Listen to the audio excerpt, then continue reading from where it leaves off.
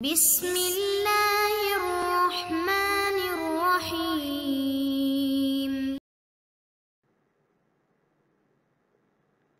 أعوذ باللہ من الشیطان الرجیم بسم اللہ الرحمن الرحیم وبہی نستعین ہماری گفتگو کفایت الاصول حصہ سوم میں وہ بھی مقصد سابع کے بارے میں مقصد سابع اصول عملیہ کے بارے میں تھا۔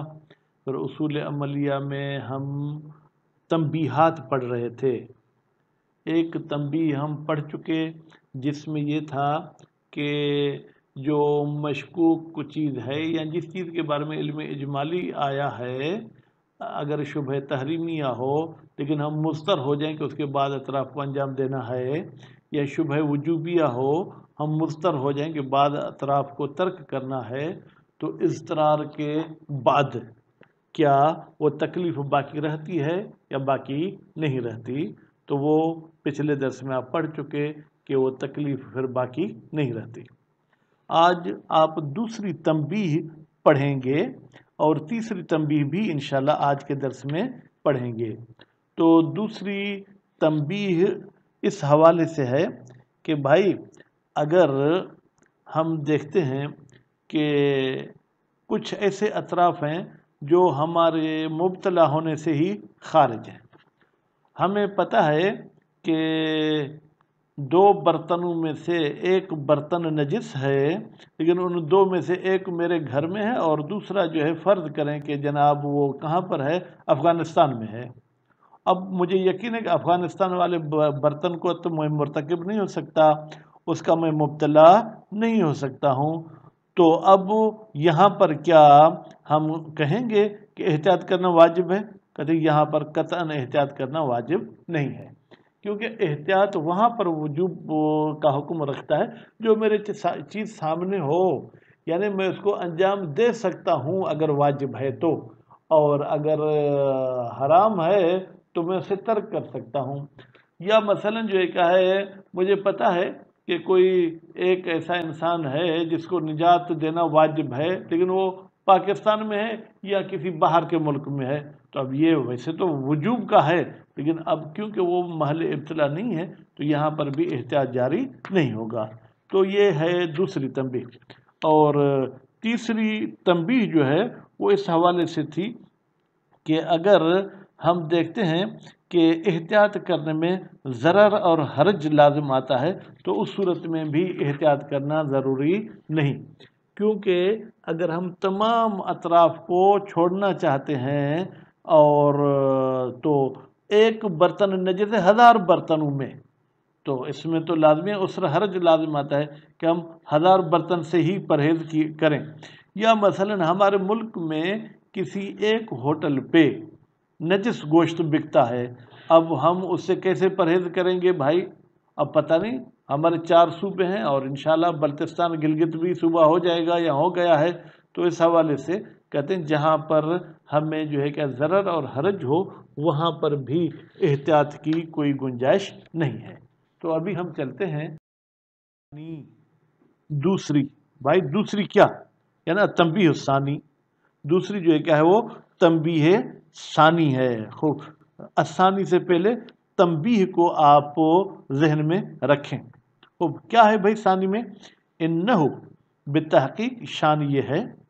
لما کان نہیو انشے جب کسی چیز کے بارے میں نہیں آئے، انما ہوا بتحقیق وہ نہیں لأجل اس خاطر آئی ہے، ان یسر دائین للمکلف تاکہ یہ نہیں مکلف صاحب کو دعوت کرے، اس کو بلائے کس کی طرف؟ نحو ترک ہی، کہ آپ اس شے کو ترک کریں، آپ اس چیز کو انجام نہ دیں۔ خوب، یہ تو نہیں والی صورت میں ہے۔ تو آپ اس چیز کو جو ہے، کیا ہے، انجام نہیں دے سکتے ہیں، آپ اس چیز کو ترک کریں۔ خوب، تو اب جب نہیں اس طریقے سے آئی ہے کہ آپ اس چیز کو ترک کریں تو پھر یہ اس لیے ہے کہ لو لم یکن لہو دائن آخر، اگر مکلف کے لیے کوئی اور دائی نہیں ہے، کس کے لیے؟ غیر نہیں، اس نہیں کے علاوہ کسی دوسرے کے لیے۔ یہاں پر شاید یہ لا یکاد کا لفظ جو ہے، کیا ہے؟ وہ میرے کتاب میں نہیں ہے۔ خوب، تو کہتے ہیں اور کوئی دائی نہیں ہے، صرف اور صرف یہ نہیں ہی اس انسان کو دعوت دیتی ہے۔ کہ آپ اس کام کو ترک کریں۔ ولا یکاد یقون و ذالک اور کہتے ہیں، یہ نہیں کام نہیں کرے گی اللہ سوائے اس مورد کے۔ فیما یمکن عادتاً ابتلا ہو عادتاً یعنی عام طور پر۔ یعنی بظاہر جہاں پر ہم دیکھیں گے کہ یہ شخص، یہ مکلف اس کام میں مبتلا ہو سکتا ہے۔ خوب، اگر نہیں اس کو نہ آئے۔ خوب۔ و اما مالا ابتلا بھی لیکن وہ کام کہ جس میں یہ مبتلا ہی نہیں ہو سکے گا بے حسب ہاں ہاں کی دے مل جائے گی عادت کی طرف۔ یعنی عام جو ہمارا ماحول معاشرہ ہے، یا عقلاً یا عرفن یہ اس میں مبتلا نہیں ہو سکتا۔ فلئی سل نہیں یہ ان ہو تو پھر اس کام کے بارے میں اگر نہیں آئے، تو اس نہیں کہ کوئی بھی لئی سل نہیں یہ انو موقع ان موقع ان یعنی حیثیت ان اس کی کوئی حیثیت نہیں ہے، اصلاً بالکل۔ یعنی کیا؟ یعنی مولا پھر ہمیں اسے نہیں نہیں کر سکتا۔ اگر مولا نہیں کرے گا تو پھر شاید مولا حکیم نہ ہو۔ ضرورت، یہ بات بالکل واضح ہے۔ کون سی؟ انہو، کہ یہ نہیں، بلا فائدت بغیر کسی فائدے کے ہے۔ ولا طائل۔ طائل کو بھی یہاں فائدہ کی معنی ملے ویسے تو طائل طویل کی معنی میں بھی ہے۔ لیکن کوئی فائدہ نہیں ہے۔ بل یکون من قبیل طلب الحاصل۔ بلکہ یہ نہیں کرنا ایسے ہے جیسے کہ آپ ایک حاصل شدہ چیز کو حاصل کرتے ہیں اور تحصیل حاصل جو ہے کیا وہ محال ہے۔ کیوں بھائی تحصیل حاصل؟ اس لیے کہ ویسے ہی میں اس کا مرتکب نہیں ہے، ہو رہا ہوں۔ کان الابتلاء، تو مبتلا ہونا اس کام میں بے جمی الاطراف۔ بھائی تمام اس کے افراد کو، تمام اس کے پہلو کو ممن لا بد من ہو یہ ایسی شرط ہے جو ضروری ہے فی تاثیر العلم، تاکہ علم اجمالی اثر کرے اور ہم پر احتیاط مثلا واجب کر سکے۔ فَإِنَّهُ بِدُونِ ہی فَإِنَّهُ بتحقیق شان یہ ہے بدون ہی جب ہم مبتلا نہیں ہوں گے بدون ہی کی ضمیر ابتلا کی طرف پلٹائیں جب ہم اس میں مبتلا ہی نہیں ہوں گے تو پھر لا علم، پھر تو گویا کہ ہمیں کوئی علم ہی نہیں ہے بے تکلیف فعلی، کہ ہم پر کوئی بالفعل تکلیف اور ذمہ داری ہے۔ احتمال تعلق خطاب احتمال ہے کہ خطاب کا تعلق ہو بما، ایک ایسی چیز کے ساتھ کہ لا ابتلا بہی، جس کے ساتھ ہمارا کوئی ابتلا نہیں ہوگا، ہم جس میں مبتلا نہیں ہوں گے۔ خوب۔ اب یہ اتنا بیان ہو گیا۔ من ہو۔ یعنی یہ جو ہم نے بات ذکر کی ہے، خوب۔ اس بات سے کیا ظاہر ہوتا ہے؟ ان قدہ یہ واضح ہو گیا کہ ان الملاک فی الابتلاء، بتحقیق معیار جو مبتلا ہونے کے بارے میں آیا ہے، المصحح۔ وہ ابتلا جو صحیح کرتا ہے لفعلیت زجر، تاکہ اس من ہی انہوں سے ہمیں روکا جائے۔ وہ انقدا ہے، طلب ترک ہی۔ اور یہ واضح ہو جائے کہ ہم سے طلب کیا گیا ہے کہ اس کام کو ترک کریں۔ فی نفس المولا فعلن فی نفس المولا یعنی مولا کے ذہن میں یہ ہے کہ ابھی ہم اس کو جو ہے، کیا ہے، ترک کریں۔ اس لیے اسے نہیں کرتے ہوا۔ ہو، یہ ہوا یعنی ملا کے کیا ہے؟ ما اذا صح دائی الى فعلہی جب اس مکلف کے ذہن میں کوئی دعوت دیتا ہو اس کام کی طرف نفس العبد، عبد کے نفس میں ہے کہ میں اس کام کو انجام دوں، تو اس صورت میں مولا جو ہے کیا ہے، وہ ہمیں روکتا ہے کہ اس کام کو خبردار انجام نہیں دینا۔ ما اطلاع ہی ما ہوا علیہ من الحال۔ جب میں تو اطلاع ہی کی ضمیر کہوں گا کہ جناب جو ہے کیا ہے، مولا کی طرف پلٹائیں، ٹھیک ہے کہ جب مولا کو اطلاع ہے خوب۔ یا ہم یوں کہیں کہ جب عبد کو اطلاع ہے کہ اگر نہیں نہیں ہوگی تو میں اس کام کا جو ہے، کیا ہے، وہ مرتکب ہو جاؤں گا۔ تو ایسی صورتحال میں کیا ہے، ہمیں نہیں کی جا سکتی ہے۔ ولو شک فی ذالک لیکن اگر شک کیا جائے کس بات میں؟ کہ آیا اس مکلف کے ذہن میں کوئی دائی ہے یا کوئی دائی نہیں ہے، تو کان المرجع هو البراءت تو پھر یہاں پر رجوع کیا جائے گا براعت کی طرف، نہ کہ وجوب احتیاط کی طرف۔ لعدم القطع بالاشتغال۔ اس لیے کہ احتیاط وہاں پر ہوتا ہے جہاں پر ہمیں یقین ہو کہ ہمارا ذمہ مشغول ہے اور یہاں پر ہمارے ذمے کے مشغول ہونے کا ہمیں علم نہیں ہے۔ لا اطلاق الخطاب۔ ہم یہاں پر اطلاق خطاب کی طرف نظر نہیں کریں گے کہ بھائی خطاب مطلق ہے کہ آپ مبتلا بہ ہوں، اس مسئلے میں یا مبتلا نہ ہوں، آپ کے لیے یہ جو ہے، کیا ہے، احتیاط کرنا ہے۔ ضرورت فرماتے ہیں، یہ بالکل واضح ہے، انہو لا مجال، بتحقیق کوئی گنجائش نہیں ہے۔ کس کے لیے؟ لتشبس، بھئی کہ ہم چپکیں اس اطلاق کے ساتھ، پھر مقدمات حکمت کو بھی ڈھونڈتے رہیں۔ اللہ ہاں ایک صورت میں ممکن ہے کہ ہم اطلاق کے ساتھ تمسک کریں۔ فی میدہ شک فی تقید بشین جب ہمیں شک ہو کہ اس تکلیف میں کسی چیز کی کوئی قید ہے یا نہیں، تو وہاں اطلاق کی طرف ہم رجوع کریں گے۔ بعد الفراغ ان صحت الاطلاق۔ جب ہم فارغ ہو جائیں کہ بھائی اطلاق صحیح ہے بدون ہی اس مشکوک کے علاوہ۔ خوب، تو اس طریقے سے ہم کہہ سکتے ہیں کہ بھائی یہاں پر ہم اطلاق کے ساتھ رجوع کریں گے۔ لا، وہاں اطلاق کے ساتھ ہم رجوع نہیں کریں گے۔ فی مشک فی اعتبار ہی، جہاں پر ہمیں شک ہے فی اعتبار ہی کیا یہ قید بھی معتبر ہے یا نہیں اس اطلاق کے صحت میں، تو وہاں پر ہم جاری نہیں کریں گے۔ تعمل فرماتے ہیں، آپ غور کریں۔ لعلک تعارف، شاید پہچان جائیں اس مطلب کو انشاء اللہ تعالی۔ اللہ تعالی اگر چاہے۔ الثالثو۔ اب تیسری تنبیہ کی طرف۔ انہو قد عرفت، بتحقیق آپ پہچان چکے ہیں۔ خوب، کیا پہچان چکے ہیں؟ انہو مع تکلیف المعلوم۔ بتحقیق، جب وہ تکلیف معلوم، وہ ذمہ داری جو ہمیں معلوم ہے، وہ فعلیت رکھ چکی ہے، تو اب اس صورت میں لا تفاوت، کوئی فرق نہیں ہے۔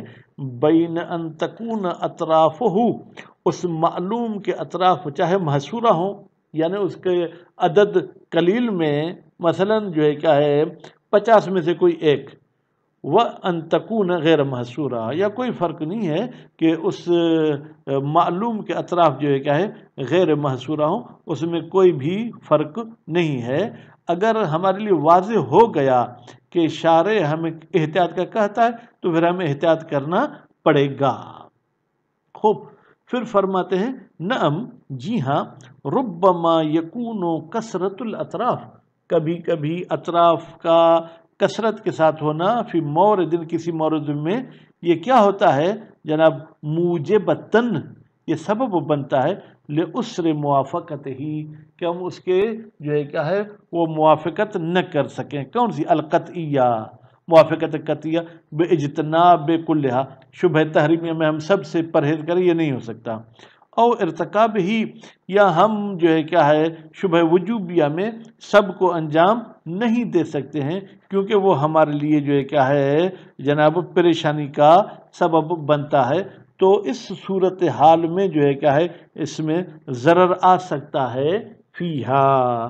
جناب اس افراد میں، ان میں، او غیر ہما یا اسر اور ضرر کے علاوہ اور کوئی پریشانی ہو، مما، ایسی پریشانی ہو، لا یکون معه تکلیف فعلیا، جس کے ساتھ وہ تکلیف فعلی نہیں ہوگی۔ خوب بأسن بأسن وجوب میں ہوگا۔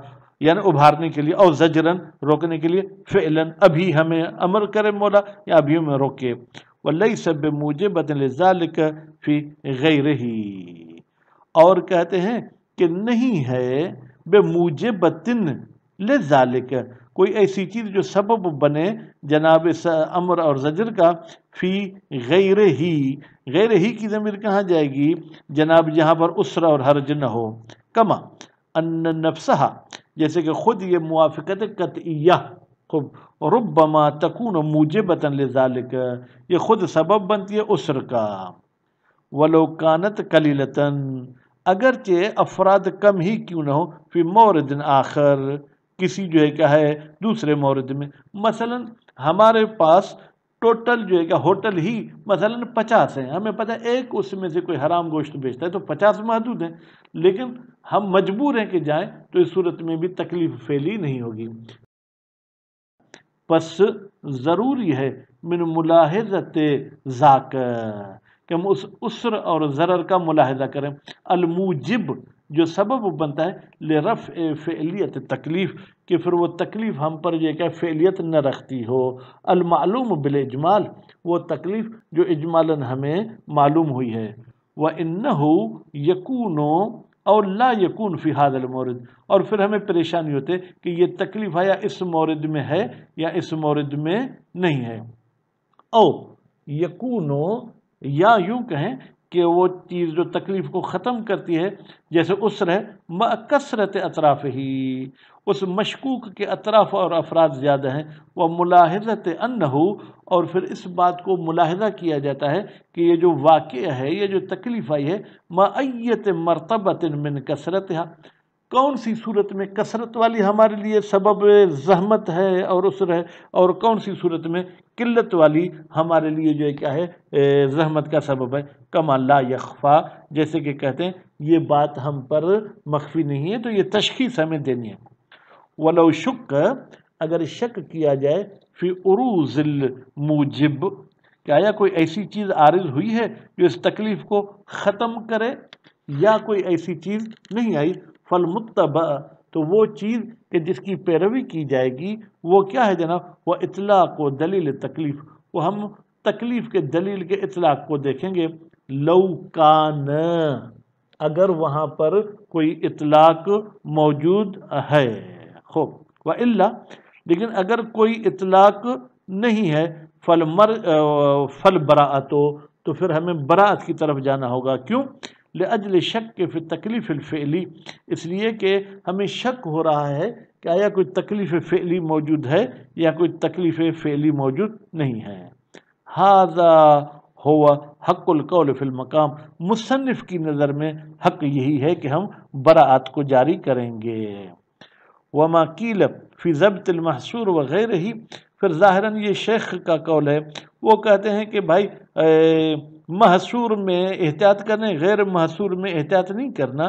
فرماتے ہیں، جو ایک ضابطہ اور قانون بتایا گیا ہے کہ محصور کا یہ ضابطہ ہے، غیر محصور کا یہ ضابطہ، فرماتے ہیں، لا یخلو من الجزاف۔ یہ فضول باتوں کے علاوہ اور کچھ نہیں ہے۔